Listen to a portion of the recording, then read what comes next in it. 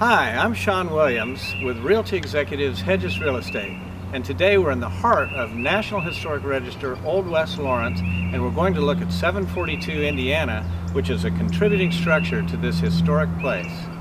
As we go through each house we'll look at 10 elements. We'll look at the foundation, the roof, mechanical electrical plumbing, then we go windows, doors, ceilings and floors. The rest is just decor. We've come into the basement of 742 Indiana to show you the structural integrity of the foundation. Here you can see the brickwork, the evenness of the tuck pointing, the solid concrete, and even the concrete floor, which doesn't have any cracks in it. Another thing to look at in a basement while you have everything open, this is where the knob and tube wiring existed and where it's been replaced with a new junction box and new wiring. You can also see the dimensional lumber and the cross planks for the subflooring, which are 1 by 6 boards, tongue and groove. That makes for a very solid floor. We can see lots of things in the furnace room.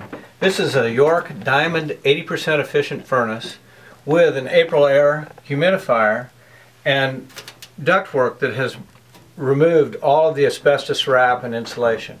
Adding to the natural light in this room the sellers over time have removed the partition walls, so from east to west it's wide open, spacious space.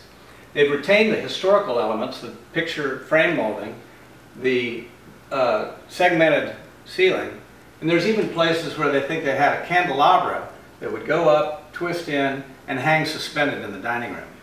The front parlor is still a very comfortable sitting room. It still retains the historical integrity of the house, and they've added to the masonry fireplace a new contemporary gas automatic remote controlled fireplace that adds ambience and heat. The kitchen is anything but historic. It's got new cabinets, new lighting, granite countertops, stainless steel sink big enough to put a turkey in, a family-sized stainless steel refrigerator, a quiet dishwasher, gas stove, wood floors, and it's open to a breakfast room, dining room, living room, and front door. The master bedroom is adjacent to two other bedrooms. It's well lit with a southern window and it's right next to the sleeping porch on the east side which has light from windows on three sides.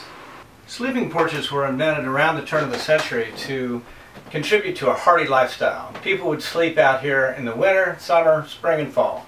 The windows can be opened up to allow breeze to come through the house and the light is terrific. 742 Indiana is on the National Historic Register as a contributing home to Old West Lawrence neighborhood. But it has a lot of contemporary upgrades and really nice interior design. Call me, Sean Williams, at Hedges Real Estate Realty Executives in Lawrence, Kansas.